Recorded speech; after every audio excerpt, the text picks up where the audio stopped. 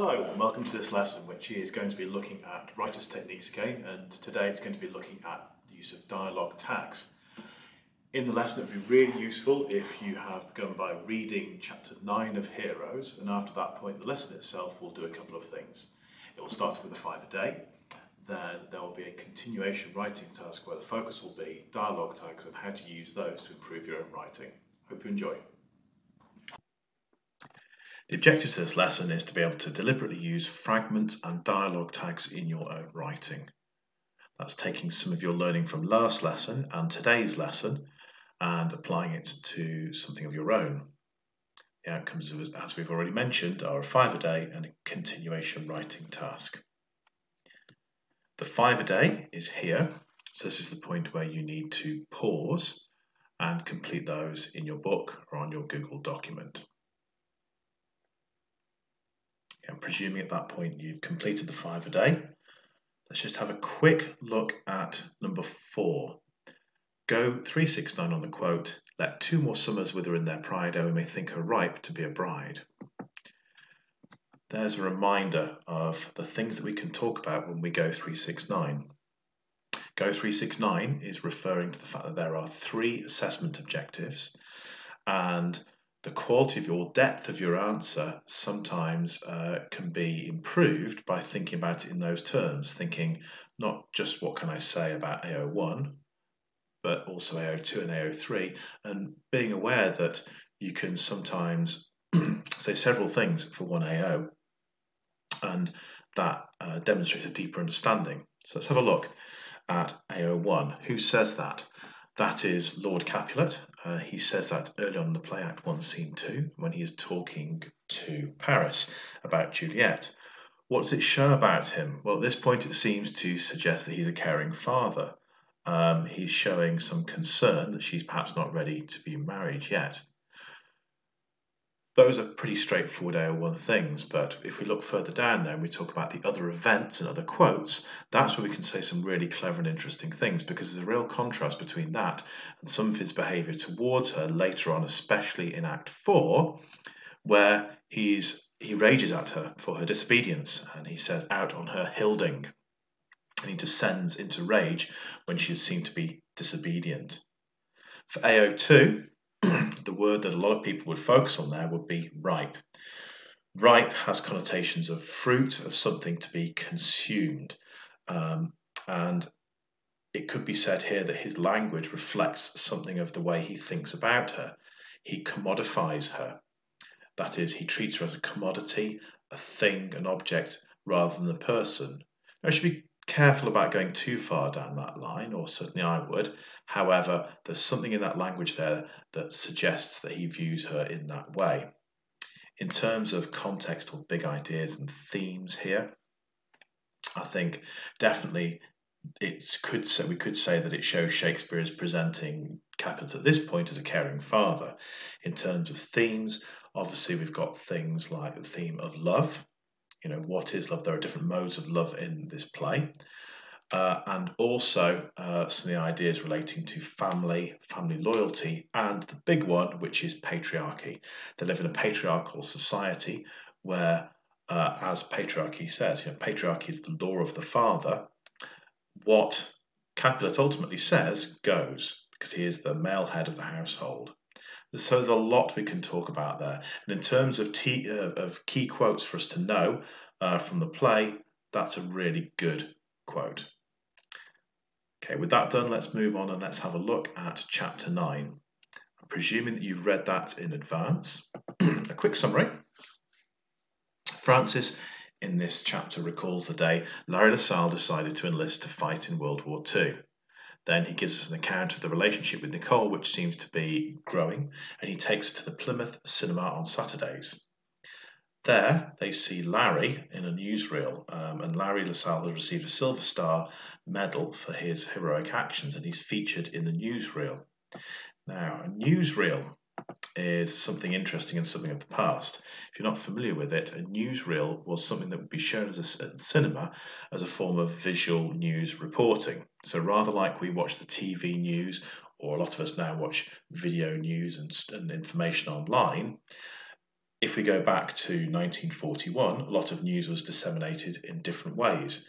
It came through the print media, so through newspapers, it came through the radio, and in visual terms, uh, newsreels were something that people would see and uh, they were used quite broadly. So, before we go on to um, any further, I'm going to show you a quick example of some newsreel footage uh, very similar to the sort of thing that's being talked about here. America goes to war.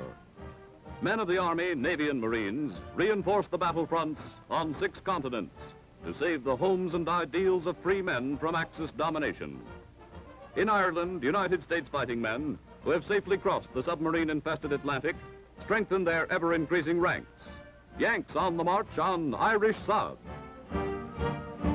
The worldwide conflict brings intrepid American airmen to China's heroic fighting front.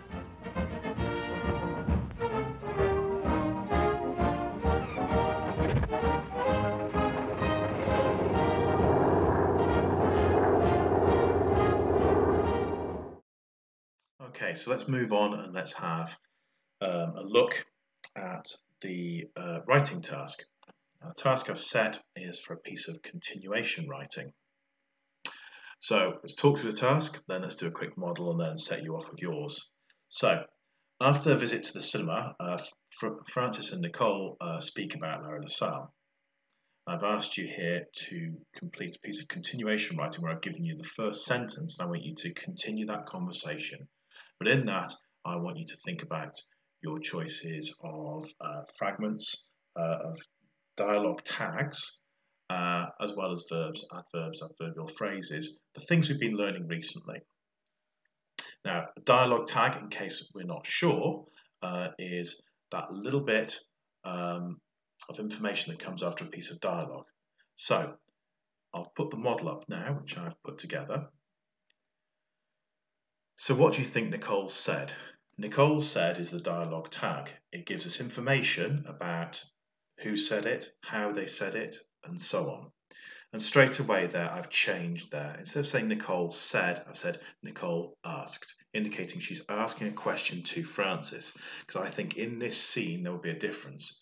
At this point already, Francis will be a bit more skeptical about Larry than Nicole, whose relationship at this point hasn't soured and nothing sinister has happened yet, although it's going to happen. So, in response, I've decided that um, Francis is going to reply um, in a in a non-committal way, and I've actually said here of what replied Francis evasively. It's as if he wants to avoid talking about Larry because for me that that fits with his character at this point. He's far more interested in talking to Nicole and in their relationship than talking about Larry, who is this um, increasingly ambiguous figure, I think, for Francis. So Nicole has, has, given a response there saying, of Larry, of course. Now, I've put, not put a dialogue tag on there. And the reason I've done that is because it means there is a bit more pace. We don't always have to say how somebody says something. Sometimes it actually becomes laboured. And in response, I've asked Francis to say, Francis has said, oh, well, he's a hero, I suppose. So we've got a fragment in there. So Francis is going to say that, and in the dialogue tag, I've added some more information. Francis spoke without conviction, um, as if he wanted to be somewhere else, sorry, as if he was thinking uh, something else. So in the dialogue tag, I've actually used a full sentence there. Now, here is the task uh, that I've set for you, uh, the continuation writing there. Now, I've actually given you a couple of options.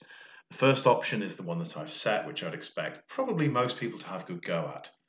If you find that you're maybe uh, struggling with that, or if you're pushed for time uh, and uh, and it's becoming quite difficult, you can take option two. Option two gives you the dialogue, and I would just ask you to replace the dialogue tags, um, or indeed in some cases remove them, like we've done in the model there, to try and get a clearer idea of how these characters are talking because probably at this point Nicole is still looking up to Larry Whereas Francis is maybe feeling a little bit more ambiguous about him. He's seen hints of something slightly different.